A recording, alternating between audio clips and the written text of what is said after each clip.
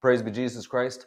Here's the question many Catholics are asking There's a handful of bishops who are authorizing the blessing of sinful partnership situations. They're authorizing the blessing of unnatural partnership situations. Why aren't these bishops being asked to resign? Why aren't these bishops being relieved of their duties?